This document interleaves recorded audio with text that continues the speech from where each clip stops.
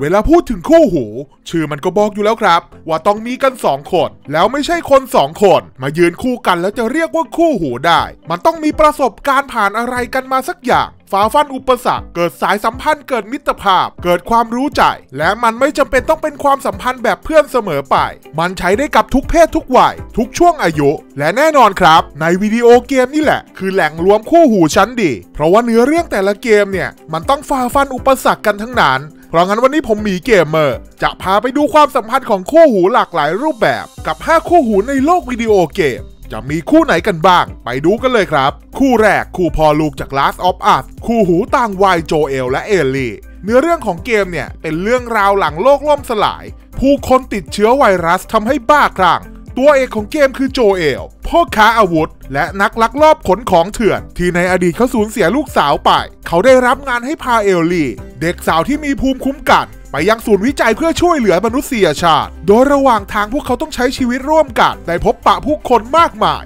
ผ่านความยากลำบาก ได้เรียนรู้ซึ่งกันและกัน ช่วยเหลือกันในยามยากลำบาก ทั้งสองต่างมีสิ่งที่ขาดหายไปเหมือนกันทำให้ระหว่างเดินทาง มันเกิดเรื่องราวสุดซาบซึ้งประทับใจ กลายเป็นคู่หูที่เชื่อใจกัน บางคนอาจจะบอกว่าคู่นี้มันเหมือนพ่อลูกมากกว่า ก็นั่นแหละครับ ความสัมพันธ์ไม่จำเป็นต้องมีอย่างเดียว คือเป็นทั้งคู่หู เป็นคู่พ่อลูก ที่ทั้งสองมีความผูกพันที่แข็งแกร่งไม่แพ้กัน ต่อไปคือคู่หูเพื่อนร่วมทางจาก Resident Evil 2 คือถ้าเกิดพูดถึงคู่หูจาก Resident Evil เนี่ย มันมีเยอะแยะมากมายครับ แต่หนึ่งคู่ที่จะไม่พูดถึงไม่ได้คือลีออนและแคลร์ท่านแน่ เดี๋ยวมีคนมาเม้นแน่เลยว่า แล้วลีออนกับเอดาล่ะ เออ นั่นแหละครับ เอาลีออนกับแคลร์ลีออนตำรวจหน้าใหม่ไฟแรงแถมดวงซวย และแคลร์น้องสาวผู้มาตามหาพี่ชาย คือทั้งสองคนเนี่ยเปิดตัวมาเป็นตัวหลักพร้อม ๆ กัน ด้วยการเดินทางเข้ามายัง Raccoon City ในเวลาใกล้ๆกัน และนั่นมันทำให้พวกเขาได้เจอกัน พวกเขาร่วมมือกัน เอาชีวิตรอดจากฝูงซอมบี้แม้จะเป็นระยะเวลาสั้นๆ ยิ่งถ้าเกิดเป็นเวอร์ชันรีเมค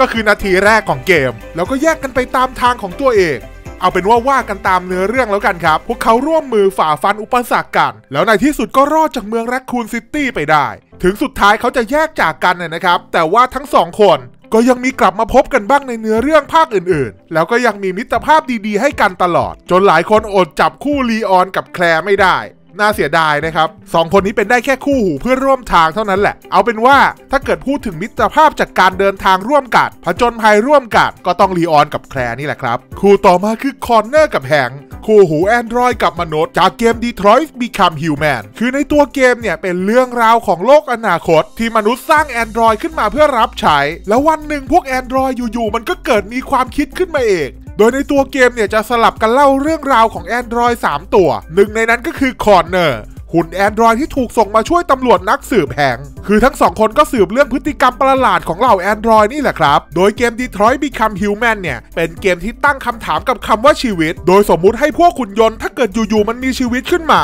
มันจะต่างกับมนุษย์ตรงไหน ทีนี้กลับมาเรื่องคู่หู คือในเกมเนี่ยทั้งคู่ต้องทำงานด้วยกันฝ่าฟันอุปสรรคเหตุการณ์ต่างๆ จนเริ่มสนิทกัน ในเกมมันมีตัวเลือกเยอะแยะมากมายครับ แล้วการเลือกของเราเนี่ยมันก็ส่งผลต่อเนื้อเรื่องด้วย แต่ที่ผมหยิบ 2 ตัวนี้มา เพราะถ้าเกิดเราเลือกตัวเลือกแบบดีๆ บทสรุปของเกม ความสัมพันธ์ของทั้งคู่เนี่ยมันจะทำให้คุณซาบซึ้งประทับใจแน่นอนครับ ต่อมาคือคู่หูชิปกับเดลมีสองพี่น้อง ขายของในคลอง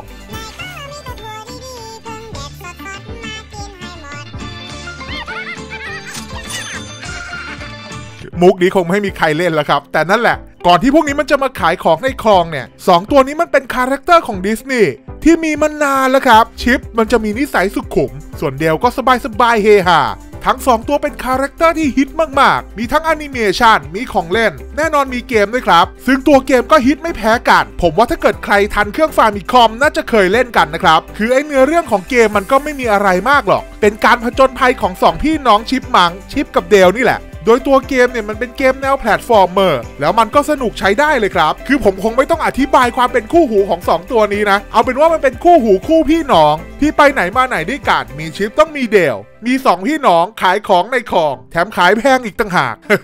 ยังไม่เลิก เอาละครับ และคู่หูคู่สุดท้าย 2 คู่หูเกมหญิงคอนทราคือต้องบอกว่าคู่นี้เนี่ย เป็นคู่ที่เป็นตำนานจริง ๆ ครับ คู่หูจากเกมยิงยุคเก่าคอนทราโดยทั้งคู่มีชื่อว่าบิลและแลนซ์ซึ่งเอาจริง ๆ ตอนเราเด็ก ๆ เนี่ย ไม่รู้เรื่องครับ เล่น ๆ ไปอย่างนั้นแหละ เนื้อเรื่องเป็นอะไรก็ไม่สนใจ ตัวเกมมันเล่นคนเดียวก็ได้เล่นกับเพื่อนก็ได้ แล้วเกมนี้มันจะสนุกสุดๆ ตอนที่เราได้กวนประสาทเพื่อนนี่แหละครับ เอาเป็นว่าพูดเรื่องคู่หูดีกว่า คือคนที่ผมทองทองเนี่ยคือบิลส่วนแลนซ์จะเป็นคนผมยาว พวกเขาอยู่ในหน่วยรบที่ชื่อว่าคอนทรา ที่ถูกส่งมาจัดการองค์กรร้ายที่จะมาทำลายล้างโลก โดยองค์กรนี้มันมีมนุษย์ต่างดาวคอยชักใยอยู่เบื้องหลัง คือเรื่องราวมันจะเป็นยังไงก็ช่างมันเถอะครับ เพราะภาพจำของเกมเกมนี้เนี่ยคือหน้าปกที่มีคู่หูสองคน บุกตะลุยด่านไปด้วยกันพูดได้เลยครับว่ามันเป็นความทรงจำที่ไม่มีอะไรมาแทนได้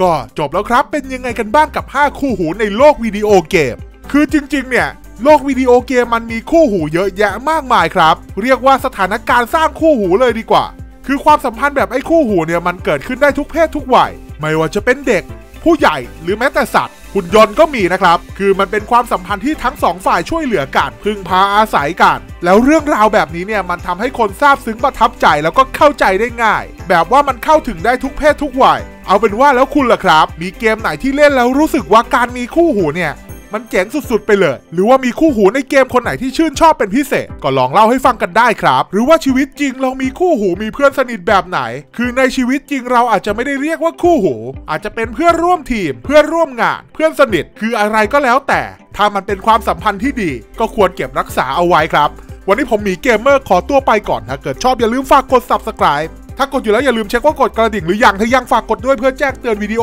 ใหม่ๆ เอาเป็นว่าวันนี้ไปแล้ว สวัสดีครับ